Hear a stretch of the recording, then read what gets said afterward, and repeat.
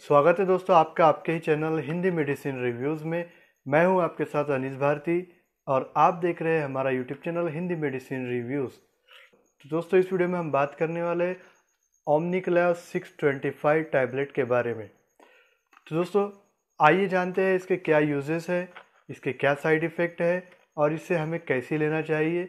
इस बारे में आज की वीडियो में हम बात करने वाले तो, दोस्तों वीडियो शुरू करने से पहले मैं आपको बता दूँ आपने अब तक हमारा चैनल सब्सक्राइब नहीं किया होगा तो वीडियो के नीचे लाल रंग में सब्सक्राइब लिखा हुआ है, उस पर क्लिक करके सब्सक्राइब कर ले और साथ में बेल के आइकन को भी दबा दे। चलिए दोस्तों, शुरू करते हैं आज की वीडियो।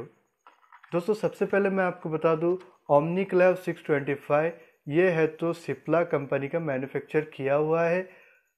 और इसकी अगर हम प्राइस की बात करें तो ये एक सौ नौ रुपये चौपन पैसे की इसकी प्राइस एमआरपी है।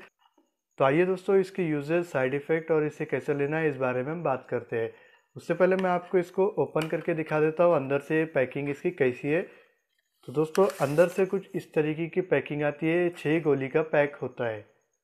आइए दोस्तों, अब इसके हम यूजेस के बारे में बात करेंगे। दोस्तों, सबसे पहले मैं आपको बता दूँ, ये टैबलेट है तो एक एंटीबायोटिक टैबलेट है और इसका मेनली यूज़ है बैक्टीरियल इन्फेक्शन के लिए। ये मेनली यूज़ होती है। और उसी के साथ साथ दोस्तों, अगर आपको बैक्टीरियल इन्फेक्शन की वजह से कुछ अपर रेस्पिरेटरी ट्रैक इन्फेक्शन हो गया है तो उसमें भी आप इसे यूज़ कर सकते हैं।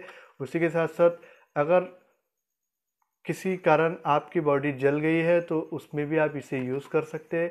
और तो इसका सबसे अच्छा रिज़ल्ट है आफ्टर सर्जरी मतलब सर्जरी के बाद का जो पेन होता है, उसके बाद जो ज़ख़म हो जाती है, उसको जल्दी ठीक कर देता है ये।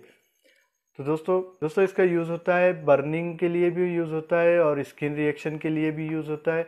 उसी के साथ साथ निमोनिया टाइफाइड में भी आप इसको यूज़ कर सकते हैं। दोस्तों, इसके साइड इफ़ेक्ट के बारे में अगर बात करें तो ये है तो इसके कोई भी साइड इफ़ेक्ट नहीं है, लेकिन फिर भी ये एक मेडिसिन है। तो इसके ओवरडोज के कारण आपको nausea vomiting diarrhoea headache stomach pain ये हो सकता है।